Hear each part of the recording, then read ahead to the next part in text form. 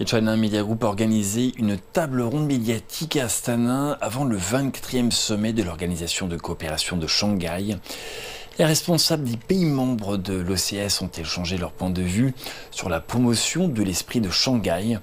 afin d'approfondir la coopération et de promouvoir la construction d'une communauté de destin de l'OCS encore plus étroite.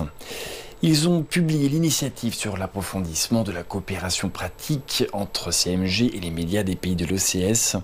et ont lancé le mécanisme de coopération partenariat eurasien dans le but de promouvoir les échanges entre les peuples et la compréhension mutuelle entre les pays de l'OCS.